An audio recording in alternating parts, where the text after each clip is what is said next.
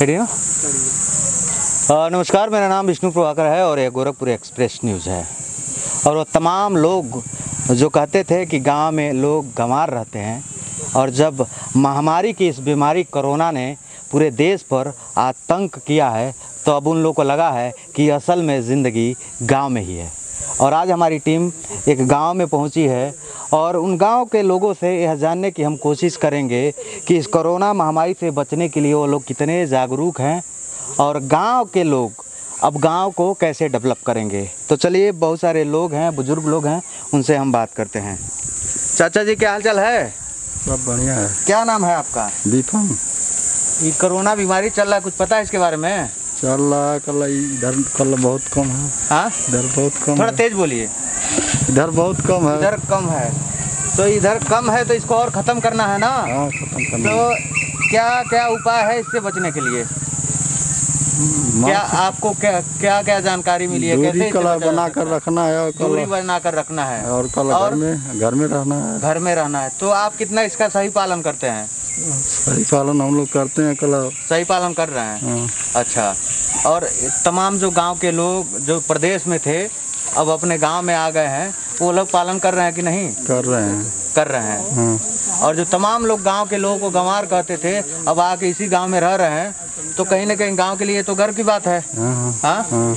अब क्या लग रहा है गाँव में तमाम जो हम लोग की तरह युवा होते थे पहले गाँव में अपने खेत में काम करने नहीं जाते थे? भाई साहब आप आ जाइए इधर आ जाइए। सबसे बड़ी चीज़ ये है कि जो आदमी गाँव में रहता है उस तरह का मेहनत नहीं करना चाहता है। नहीं एक शहर में एक भरम है कि हमारा इज़्ज़त जाएगा रेपुटेशन जाएगा। वो यहाँ से जाने के बाद किसी भी तरीके का काम कर लेगा। मजदूरी नहीं करेगा और वही वहाँ पे कूड़ा- कूड़ा तो उठा लेगा। बाबूजी हम सुपरवाइजर बन गए हाँ। तो ये सबसे बड़ी मानसिकता लोगों की चेंज नहीं हो रही है। तो क्या लग रहा है लॉकडाउन तो मानसिकता चेंज कर देगा? देखिए लॉकडाउन तो बहुत कुछ सिखा देगा की जीवन को नए तरीके से जीने के लिए सिखा रहा है। साथ जीने की कोशिश और सबसे बड़ी बात क्या है लोगों के अंदर जो चीज़ें आ गई कि लोग आज पेट जिराने के लिए नहीं काम करना चाहते हैं।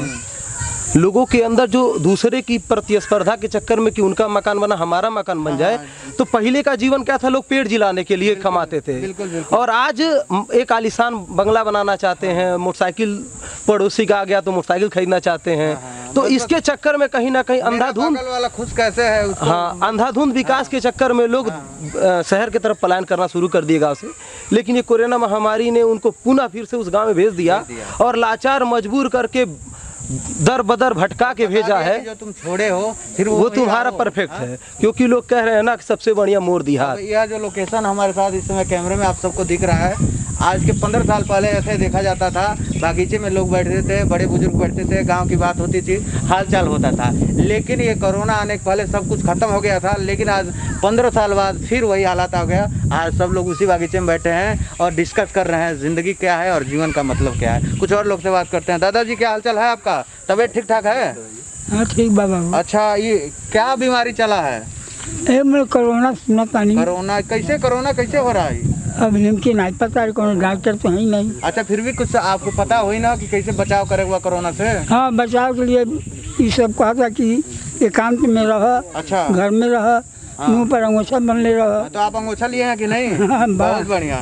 तो आप पालन कर रहे हैं ना इसका? हाँ हाँ अच्छा हाँ पालन कीजिए क्योंकि यह साल मुझे लग रहा है जीने का साल है और ज़िंदगी बची रही तो रुपया पैसा भी कमा लिया जाएगा अगले साल में हाँ।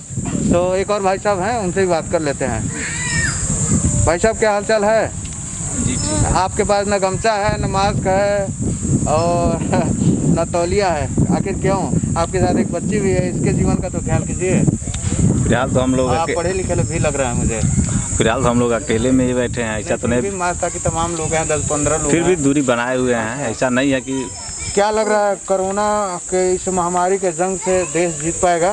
बिल्कुल जीत कैसे पाएगा। जीतेगा और कैसे लोगों को जागरूक किया जा सकता है? जागरूक तो इसी तरह से किया जा रहा है कि मतलब सबको सूचना दे दी जा रहा है कि मतलब दूरी बनाए रखें। दूरी बनाए रखें। साफ़ सफ़ाई पर ख्याल रखें। अच्छा मास्क वगैरह लगाए मास्क वगैरह लगाए रखें। मास्क नहीं लगाए ये क्या कारण है? मास्क इसलिए नहीं लगाए कि बिल्कुल हम कहीं भीड़ भाड़ वाले इलाके में नहीं हैं। बिल्कुल हम अपने घर पे हैं दरवाजे पे हैं। ये तमाम लोग हैं। और किससे कौन मिल लेगा ये सेफ्टी ज़रूरी होता है ना हाँ सेफ्टी तो ज़रूरी हाँ? होता है लेकिन फिर भी हम अपने आप को सेफ्टी महसूस कर रहे हैं इसलिए कर रहे हैं लेकिन हाँ। मैं निवेदन करता हूँ कि आप मास्क भी रखिए अपने साथ में कि कम से कम आप और अपने आप को सेफ्टी के साथ स्ट्रांग भी महसूस करेंगे तो आप लोग गोरखपुर एक्सप्रेस न्यूज़ देख रहे थे गोरखपुर एक्सप्रेस न्यूज़ यानी गाँव वाले रिपोर्टर हर वक्त गाँव की बात करता है गाँव को विकसित करने की बात करता है और हमारी कोशिश यही है कि गाँव के लोग जागरूक हों कैमरामैन रणजीत के साथ विष्णु प्रभाकर, गोरखपुर एक्सप्रेस न्यूज़। जय हिंद। अगर आप ये वीडियो यूट्यूब पर देख रहे हैं तो हमारे चैनल को सब्सक्राइब करें और बेल आइकन को दबाना ना भूलें। अगर आप फेसबुक पर ये वीडियो देख रहे हैं तो हमारे पेज को लाइक